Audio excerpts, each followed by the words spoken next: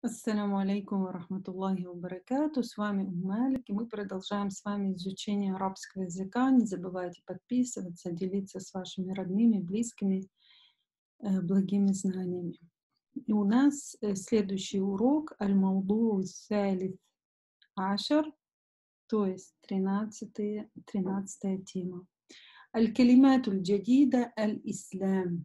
Ну, Аль-Ислам, понятно, это ислам.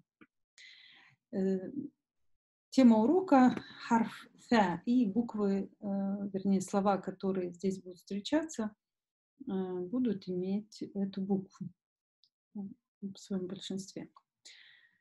Итак, первое слово «тамания».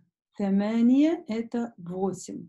«Тамания» — восемь. Начинается на букву «та» в начале.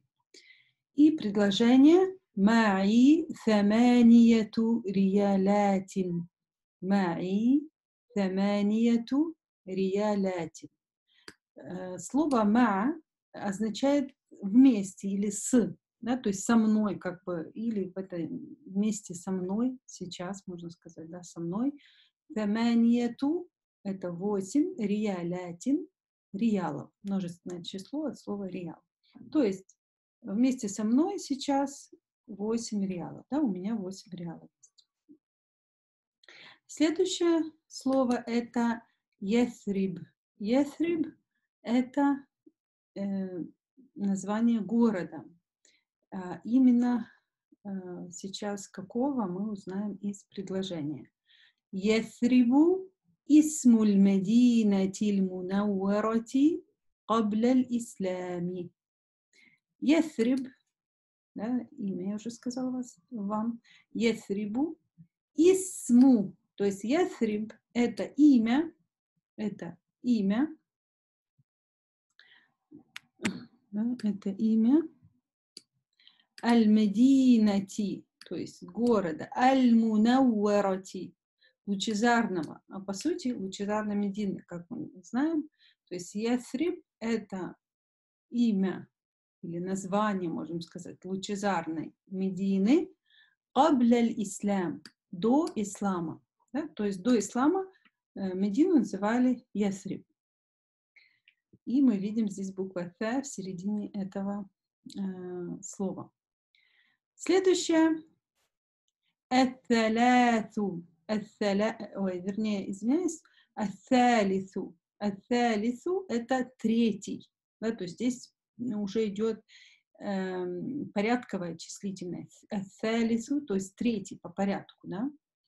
Мы видим th э, в окончании, и это относится к мужскому роду. هذا هو الدرس الثالث. Это третий урок. Э, между ними мы видим здесь местоимение гуа, это как указательное местоимение hada, Эм, как бы это, и если после него идет слитное э, с артиклем словом, да, то есть с артиклем вместе, то в этом случае э, мы переводим вот это указательное местоимение как «этот» или «это». И чтобы вот этого недоразумения не было, ставится местоимение в данном случае, так как э, говорим мы про единственное число, значит «гуа». «Хада гуа дарсу салис». Да, то есть вот третий урок, или это третий урок. А, потому что если мы заберем Гуа, то это можно перевести как этот третий урок, и это уже получится не предложение, да, а как бы фраза, которая требует продолжения. А в этой форме, когда э, муптада, то есть э, вот это э, подлежащее, да, э, в именном предложении и хабар разделены, то есть мы их как бы уже отдельно рассматриваем, а не как а, одна фраза. Уже как предложение здесь получилось. Следующее салясату. Салясату это уже три. Просто три, да? Фиддурджи салясату акулям. Фиддурджи салясату акулям. В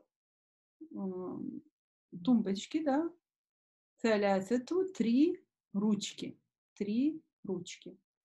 Фиддурджи салясату аклям. Да? Значит, здесь мы видим тоже две даже буквы «th» и в начале, и в середине.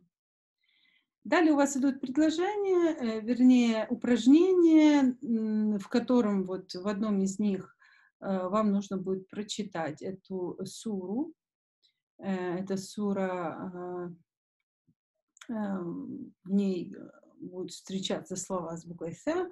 Ну, просто читайте и разбираете, ищите эту букву, да, как она пишется. Смотрите отдельно букву «th», также читайте и прописывайте слова, которые вам даются дальше.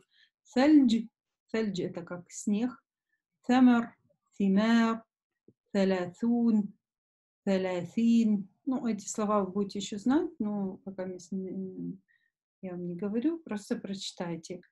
Тарфар, ثيران ثمود ثلج بارد ثمر لذيذ ثلاث بنات فشل ثابت ثار رجل ثبت سالم Просто прочитывайте и прописывайте. В принципе, это ну, все в этом уроке, и, и на этом мы пока не остановимся. Барак Аллаху фикунна или фикум.